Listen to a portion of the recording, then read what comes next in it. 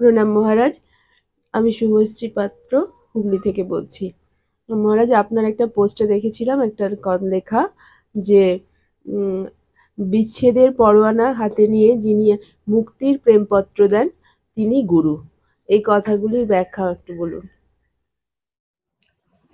বিচ্ছেদের পরোয়ানা।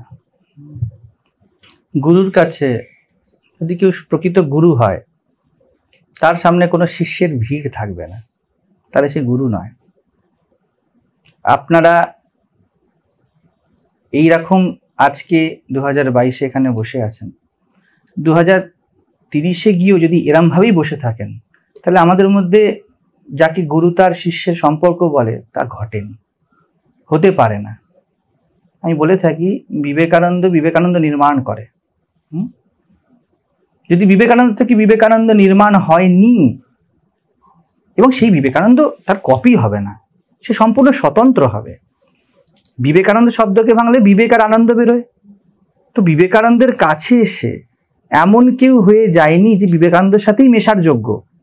হুম? আপনার এই আসনে বসা, যদি চেয়ারে বসাই পরিণত না হয়ে গেল, তাহলে গুরু শিষ্যের সম্পর্ক ঘটেনি।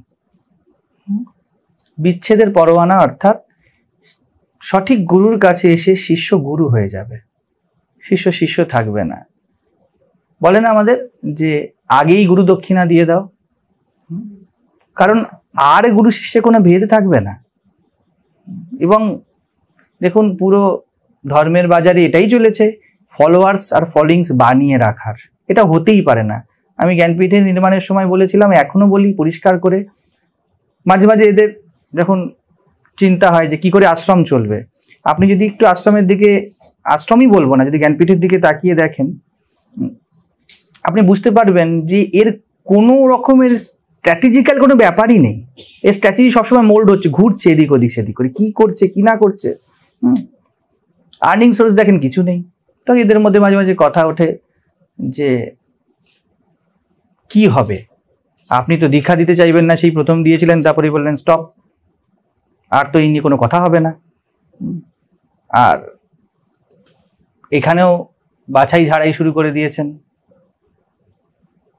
তো বিষয়টা এই দাঁড়িয়ে যায় যে জ্ঞানপীঠের ক্ষেত্রে বা আমার ক্ষেত্রে যাই বলুন বা গুরুর ক্ষেত্রে যেমনই শব্দ প্রয়োগ করুন না কেন, এটা থাকে না কখনো যে কোনো স্ট্যাগনেশন ঘটবে। একটা জায়গায় আটকে যাওয়া হবে। আপনি যদি পাঁচ বছর আসছেন এবং সেই একই আছেন আপনাকে যদি আমি ছাড়তে রাজি না হই হ্যাঁ একটা গাছে, গাছকে নিয়ে একটা ছোট জায়গাতে বিক্রি হয়, দেখেছেন? প্লাস্টিকের কন্টেনারে করে। গাছটা এমন কখনোই হলো না যখন তাকে মাটিতে ছেড়ে দেওয়া যায়। তাহলে তো আপনি যথার্থ মালি নন। হয়নি আপনার দ্বারা সেই কাজ। আমি যখন এদের মধ্যে, ও জানে, আমি যখন এদের মধ্যে কথা বলি, আমি ওদের বলি যে, যদি এরা তৈরি না হয়, অর্ণব বা অনেকে যেই থাকুক, আমি বলি যে এটা প্রমাণ যে আয়নাতে দাঁড়িয়ে যে হয়নি কাজ, সেই সেই জায়গাটা ঘটেনি এখনও পর্যন্ত। আর যেই গাছকে একবার জমিতে লাগিয়ে দেওয়া হবে সে আপনার ব্যক্তিগত থাকবে কি করে? এবারও বাড়বে, স্বচ্ছন্দে বাড়বে। গুরুর কাজ, আপনাকে ওই প্লাস্টিক থেকে বা ছোটো টপ থেকে তুলে ওই বড় গাছের চড়া রোদের নিচে নিয়ে চলে যাওয়া। আপনাকে এত যোগ্য বানিয়ে দেওয়া যে আপনি চড়া রোদ সহ্য করতে পারবেন। আপনি নিজের মধ্যে থেকে মাটি থেকে নিজের জল তুলে আনতে পারবেন। এইবারে কি এই গাছকে শিষ্য বলা যাবে আর?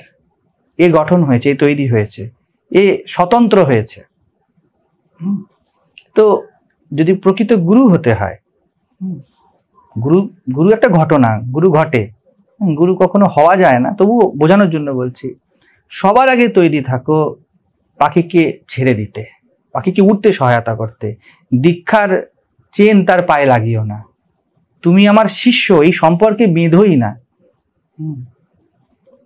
এখানে আগের দিনকে মেডিটেশনে একটু আপনাদের গাইড করা হয়েছিল। আমি জানি আপনাদের মন অতটা তৈরি নয় যে আধ ঘণ্টা কি পঁয়তাল্লিশ মিনিট এখন চুপচাপ বসে থাকতে পারবেন। মনে তো নির্বিচার হয় না। হাজার বিচার ওঠে। বা আপনারা বুঝতে পারবেন না। তবুও আমি বললাম এটা চলবে না। আবার একটা ছবি তৈরি হবে। এবং এই ছবি বলবে যে জ্ঞানপীঠে এই রকম হয়। আমি যেগুলি ঘটাচ্ছি এই মুহূর্তে, এটা বিচ্ছেদের পরোয়ানা।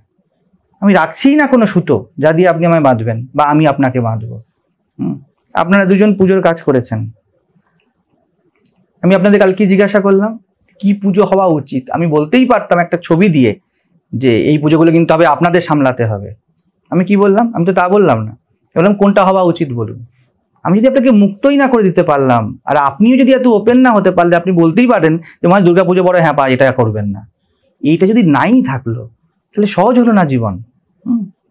তো সবসময় তৈরি থাকতে হয়। বিচ্ছেদের পরোয়ানা মানে এটাই। গুরু সবসময় তৈরি শিষ্যকে গঠন করে দিয়ে টাটা বলতে। চলো বাবা। মায়ের কোলের ছেলে কি সারাক্ষণ মায়ের কোলে থাকবে নাকি? মাকে তো বলতে হবে, বাবা, এগিয়ে যা। বড় হতে হবে। প্রকৃতি মায়ের কোলে একই রকম পশুর মতো থাকলে তো চলবে না। বাড়তে হবে। তো এই রেডিনেস যার মধ্যে আছে, যে ছাড়তে রাজি সে গুরু, যে শিষ্য বানাতে নারাজ সে গুরু, যে শিষ্য বানাচ্ছে সে এখনও শিষ্য স্তরেই আছে, তার এখনও শেখা বাকি আছে। কি শিষ্য বানাবো? যদি আপনার আমার মধ্যে ভেদি থেকে গেল আমি কোন ব্রহ্মতত্ত্ব আত্মা বললাম যে কিনা অভেদ? হলো না তো। আবার আমি যদি প্রকৃতি স্তরে নামে আপনার সাথে এক হয়ে গেলাম, তাহলে গুরু শিষ্য তো ঘটেই নি এখানে অন্য কোনোই খেলা ঘটে গেছে। তো এই দুই বিষয়ে সচেতন থাকতে হয়